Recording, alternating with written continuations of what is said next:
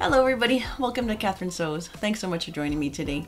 I recently made a video where I was complaining about commercial patterns and the way they describe fabrics and how they give like specific names of fabrics that my students don't really know. Suggested fabrics, crepe, charmeuse, challis, and lawn. Not helpful. Instead of just saying if the fabric is knitted or woven. And then, of course, somebody commented saying, well, why don't you just teach them those types of fabrics? And I was like, well, yeah. You're right, I should. Okay. And, and you know, my classroom is big and busy and there's just never time. So I'm putting it into a video that hopefully helps you as well. Because what I'm going to talk about today is what I see as the seven most commonly suggested fabrics from the pattern companies. So when you buy a store-bought pattern, on the back of the envelope, there's going to be a list of suggested fabrics. So for example, this one, crepe de chine, challis, charmeuse, rayon, cotton types, voile. And I see those same names on so many different kinds of patterns. Those are all woven fabrics. When a pattern is for knits, they generally just put a lightweight two-way stretch knit or four-way stretch knit. It just tells you it has to be a knit. And when it's a woven, for some reason they go into all these different names of fabrics. So, long story short, today I want to go through and describe and show you what those seven different fabrics are like, why you would choose one or the other over the other. So to help my students, I made this with my Cricut. I just got about a four inch wide strip of seven different fabrics and they are the most commonly suggested one. And today I just want to take you through and show you what those fabrics are like, the different characteristics of each, and help you to choose a fabric that's right for your sewing project.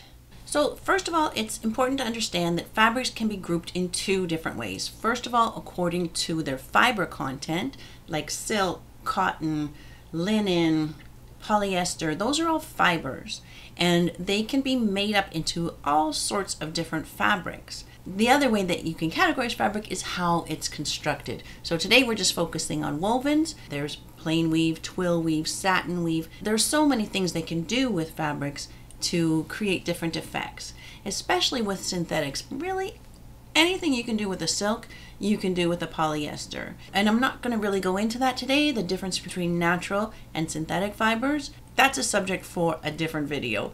But those two ways of categorizing are why most fabrics have two parts to their name. So take for example satin. Satin is not a fiber, it is a weave, it's a type of fabric. You can make silk satin, a polyester satin, acetate satin. You can even make it out of cotton, but then we call it sateen. So let's go through each of the fabrics in my little sampler here and talk about each one. So the first one on my sampler is a rayon challis. And actually that's what my top is made out of today as well. It's a rayon challis. And challis is a lightweight and soft drapey fabric. It's quite commonly made from rayon, viscose, but traditionally it was also made from a lightweight wool. A wool challis is also beautiful. They're quite often printed with beautiful florals, but of course you can get a solid color as well. But it's matte, meaning that it's not shiny at all, and it's opaque, meaning that it's not sheer or see-through. And because it's matte, it's often used as a daytime dress fabric. Daytime dresses, blouses, and skirts. It's soft and flowy and drapey. It's pretty easy to work with and it's comfortable. It breathes and it's comfortable. And so it's a popular choice for casual or daytime clothing. Now, it's not as easy to care for as a polyester. When you wash it, it's going to need to be ironed.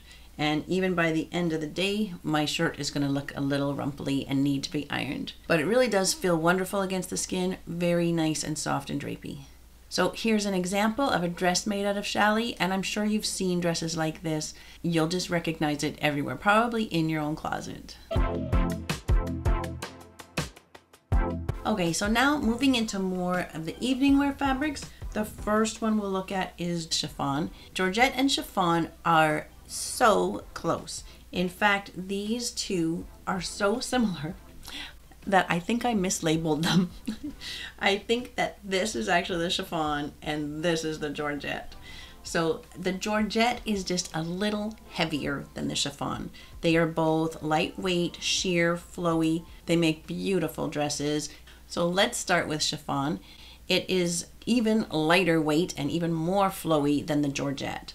It's very sheer. It definitely needs a lining. And so here's an example of a chiffon dress. They're just lovely. Often you'll see them in bridesmaid dresses, prom dresses. Chiffon can also be made out of silk, polyester, or other synthetic fibers. It has a slightly rough texture, almost pebbly texture to it. And it also has a matte finish, so not shiny at all. Chiffon is very delicate and flowy, making it just perfect for use in evening wear, bridesmaid dresses. It's usually layered or gathered to create a flowy romantic look. So Georgette is very similar to chiffon, but as I say, it's just a little heavier, a little less sheer, and it also has that pebbly kind of texture. Both chiffon and georgette can be challenging to work with. They both fray a lot and they're just so delicate. When they're made out of polyester, they're very easy to care for. Polyester just is easy to care for. But because they're usually lined, the lining isn't always easy to care for. It's the lining that sometimes needs special care. Next in my sampler is a charmeuse. When I was in the store asking for help to find all of these different fabrics, I asked for charmeuse, and the woman pointed me to the silk section. And silk charmeuse is to die for. It's beautiful. But of course, I didn't want to buy silk charmeuse for my little sampler, so I said, "Is there polyester charmeuse?" And she said, "No, charmeuse is silk." And that's not really correct, right? Charmeuse is not the fiber, it's how the fabric is constructed. So that's just good for anyone to know, especially somebody working in a fabric store. It's good to know that yes, charmeuse can be made out of silk or polyester. Those are the two most common, but I wouldn't be surprised if there was an acetate charmeuse around there somewhere as well. And so you can see that charmeuse is also lightweight and soft, but it has a luster to it. It's shiny because it is a satin weave, and satin has long float yarns of a very shiny yarn. So it is shiny on one side, matte on the other side, but it's very fluid. It drapes beautifully, so that makes it perfect for beautiful silky blouses, evening wear, and lingerie. Next in here is a crepe de chine. So again, this one's a polyester, but you can get silk crepe de chine. Where crepe comes into the name is that crepe is a highly twisted yarn. It's so twisted that it actually starts to kink up a bit. And that's what gives this the crepey texture.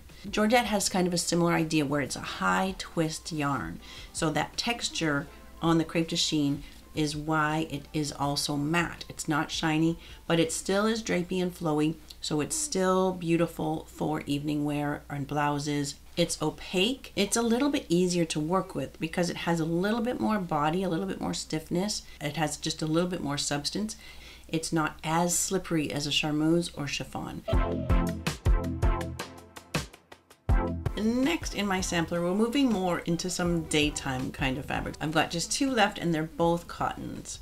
And again, they're so commonly suggested. You're gonna have to iron but they have the perk of being a natural fiber. They breathe better and they're more comfortable because of that. Of the cottons that are often suggested for a daytime dress, quite often it's cotton voile that is suggested.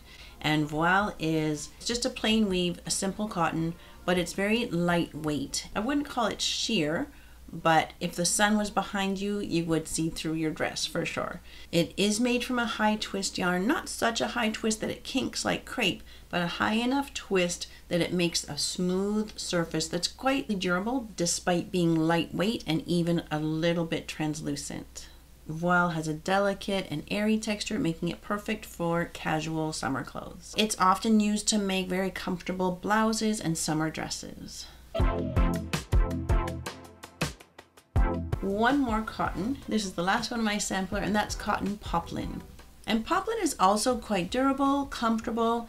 It's also a plain weave, and so it's similar to voile, except it's a little bit heavier. It's opaque, it's not sheer at all, and it has more of a crispness to it. So it's great for shirts or a more structured kind of dress or skirt, even a lightweight summer pant. So if your garment is more soft and flowy, probably the voile would be better. The poplin might just kind of stand away from the body and not have the flow or drape that you're looking for.